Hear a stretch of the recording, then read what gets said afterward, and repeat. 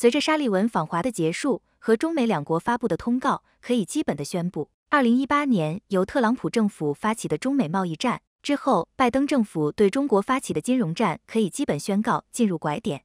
从中美双方发布的声明中，我们可以看到，这次高层领导的会面是有一定一定共识的。但是我们更希望美方不要坐上飞机就反悔。那么，我们其实更关心的是，在这一场贸易战和金融战的背后。中国有哪些损失和又赢得了什么成就？未来要怎么收尾？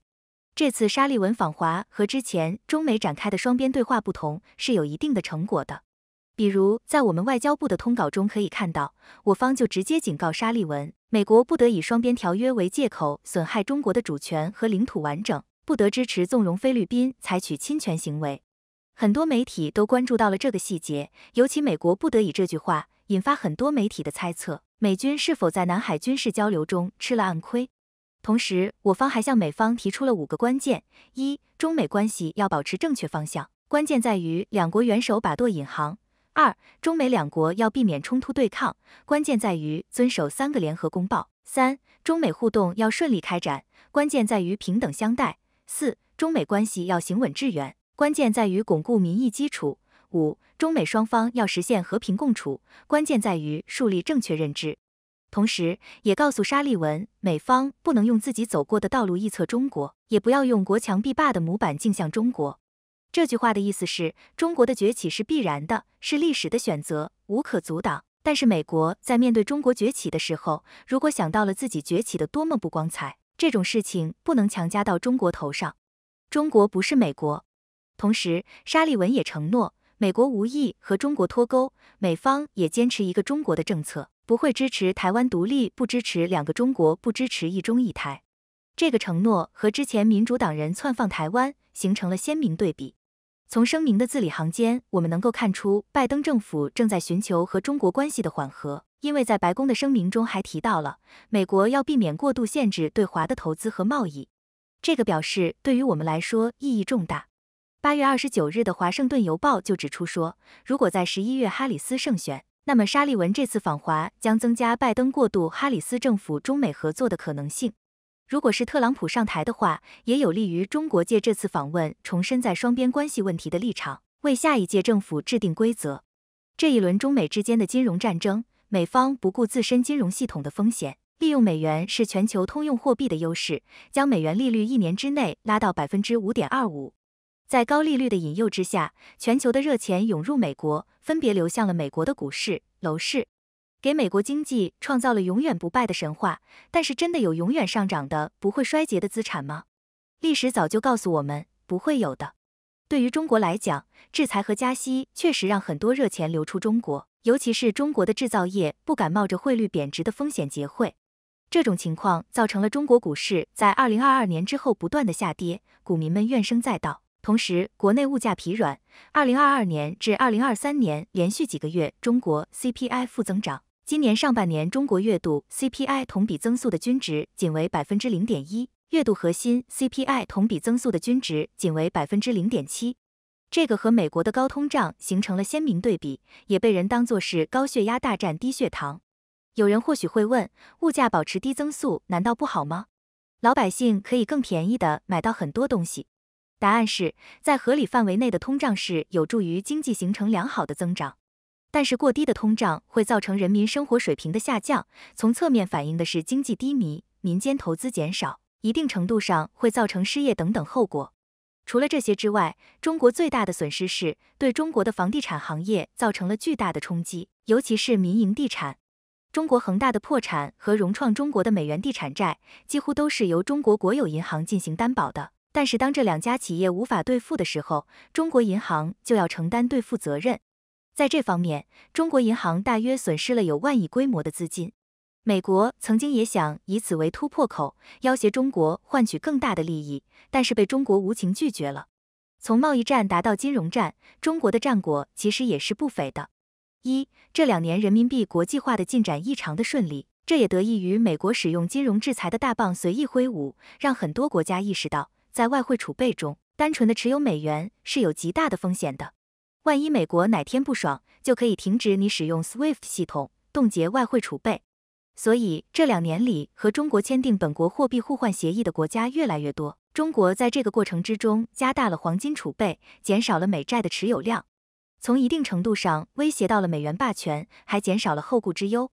二、科技突破封锁，贸易战和科技制裁让中国认识到，核心科技必须要掌握在自己手里才行，尤其是对于附加值较高的科技技术，买是不如造的。比如芯片领域，中国从二零一八年底端芯片都要从国外进口的芯片小果，经过五年时间的不断奋斗，逐步掌握了芯片的制造技术。虽然部分更高端的芯片由于种种原因，中国产品的良率还不是很高，但是从一定程度上已经突破了美国的封锁。三，中国产业结构从此发生了巨大的转变。以前中国 GDP 的三驾马车——消费、投资和出口中，投资占比是很高的。主要是中国的基建和房地产投资对中国 GDP 贡献很大，但是当贸易战开打之后，我们迅速的发现，仅靠房地产去发展国民经济是有很大的隐患的，因此立马展开了结构性调整。到了二零二三年，我国的消费占 GDP 比重增长有显著的增长，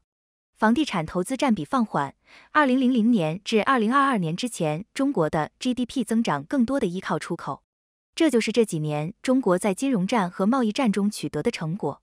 除此之外，在军事领域，中国也取得了十足的进步。无论是在南海还是东海，亦或是在国际航行上，中国都跨出了过去几百年难以越过的一步。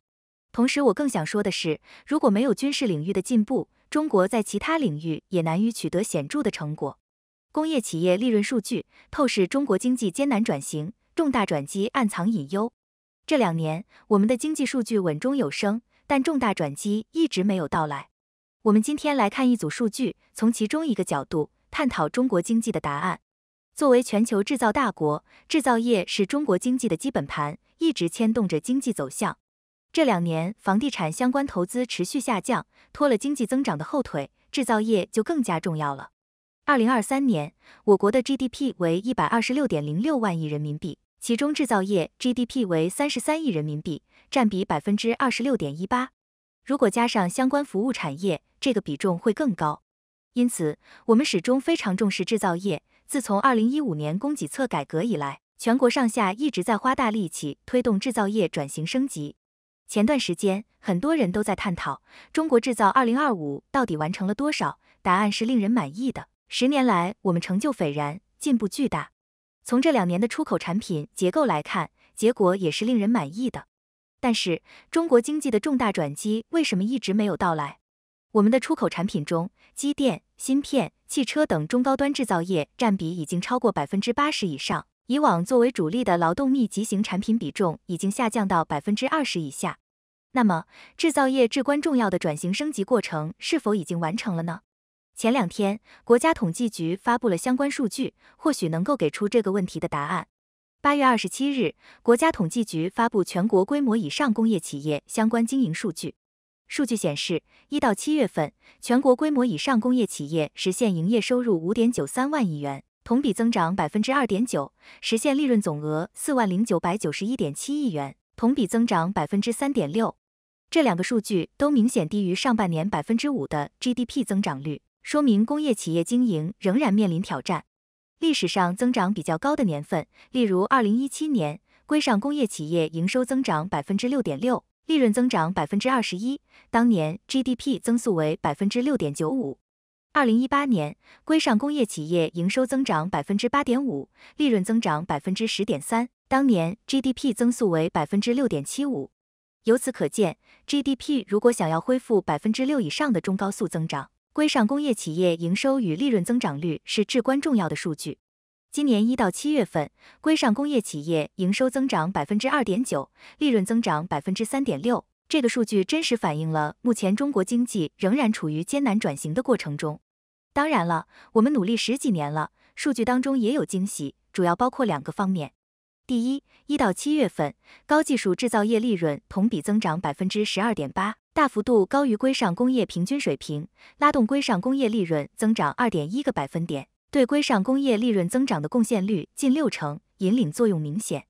第二，从行业看，锂离子电池制造、半导体器件专用设备制造、智能消费设备制造等行业利润同比分别增长百分之四十五点六、百分之十六点零、百分之九点二，为推动工业高质量发展提供强了强劲动力。最近几年，我们对高技术制造业的投资一直居高不下，连续几年大幅度高于平均水平，积累了足够的势能，开始释放出前进的动力。例如，二零二三年，我国高技术制造业投资比上年增长百分之九点九，增速比制造业投资高出三点四个百分点，占制造业投资的比重比上年提高零点八个百分点。今年以来，我们在芯片和新能源汽车两个行业接连收获惊喜，产能和出口均位列全球首位。今年一至七月份，集成电路出口量达一千六百六十六亿块，同比增长百分之十点三，出口额高达六千四百零九亿人民币，增长率超过百分之二十。同期，汽车出口三百二十六点二万辆，同比增长百分之二十八点八。这些数据都说明中国经济转型正面临重大转机。但是转机背后也有隐忧。我们再来看一个数据：七月末，规上工业企业产成品存货六点四七万亿元，增长百分之五点二，增速较前值百分之四点七再次升高。有专家认为，库存升高有季节性的因素，但也反映了需求端仍然有比较大的恢复空间。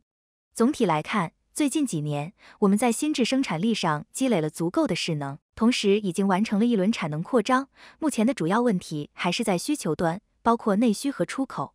我们不需要担心经济趋势，更不需要担心底盘，只是从生产端到消费端的良性循环仍然没有完全打通，这才是接下来要持续发力的地方。